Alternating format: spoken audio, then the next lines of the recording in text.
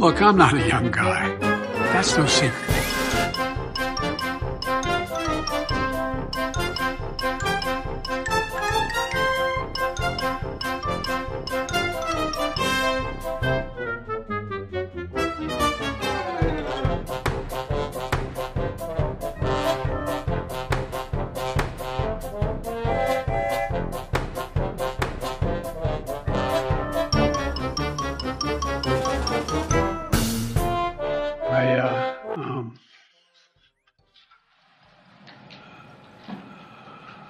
Anyway,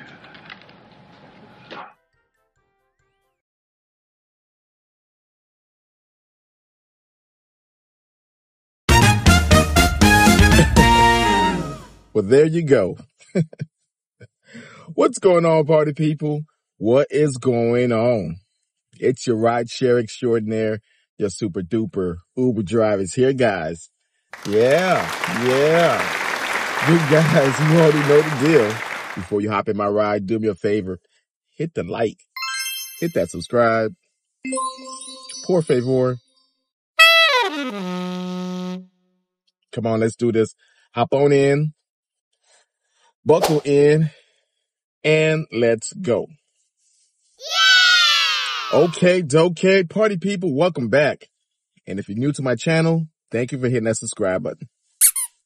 All right, Ken folks, what are we talking about today? Man, oh man, breaking news, breaking news.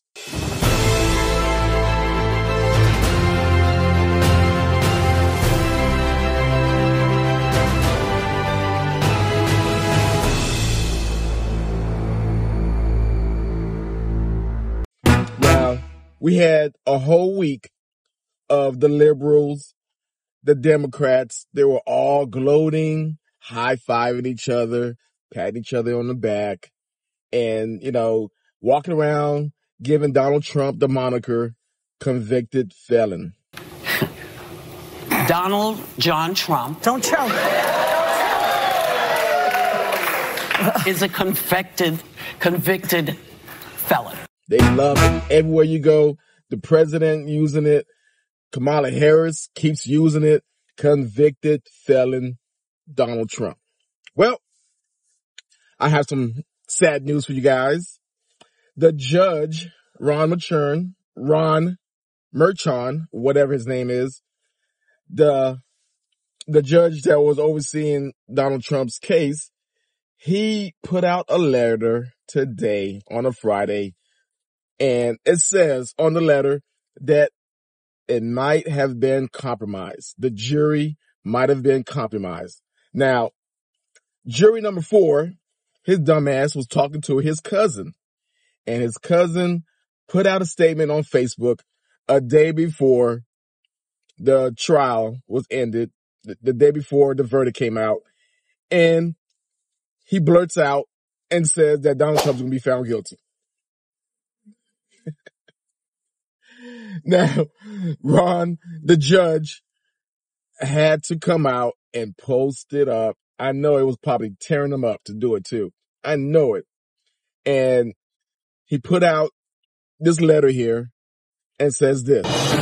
Folks, major breaking news on the Trump verdict out of the rotten apple. A New York Supreme Court has just notified, or the New York Supreme Court has just notified Judge Juan Merchan that someone identifying themselves as the cousin of one of the jurors posted to the court's Facebook page that Trump was going to be found guilty. This happened one day before the verdict was announced. We're working to verify all this information and what it means about Trump's case. Oh man. Oh man. You almost had him. You gotta be quicker than that. man, oh man. See, again, this guy, Trump, gotta be the luckiest son of a gun on earth. Every time y'all try to put him in a box, every time y'all try to get him, every time y'all do this, it blows up in your face. Every time.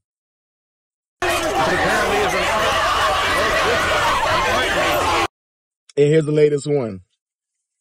So now the Democrats are kind of cynical.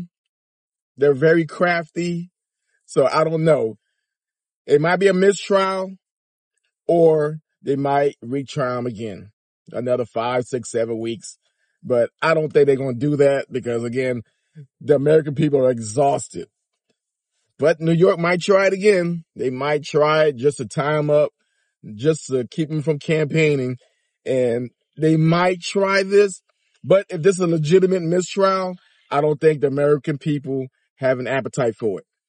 The whole New York state knows about this trial. So again, he won't get a fair trial, right? They're going to have to go through the whole jury process all over again. Find somebody who's not biased in New York, in Manhattan. Good luck. And you've been exposed already. It's been exposed. So for you to try this again, eh, I don't know. but free my nigga Donald Trump. There you go. I can't wait to see it on Monday. It's Friday. It's a news dump day. Everybody's going for the weekend, but this is the number one trip. Tri- this is the number one training thing this weekend. Mistrial. And I love it. I'm here for it. There you go, Donald Trump. You keep on marching along. All right. The Trump train continues. Come on board or get your ass run over. If you guys got any value out of my content, do me a favor. Hit the like, hit that subscribe. You see that notification bell? Turn on the notification bell so you get my latest and greatest. Share this content with your best friends and tell your mama I said hi. all right, all right. So next time, guys, I'll see you again. And all you New York jurors, get your ass off my lawn.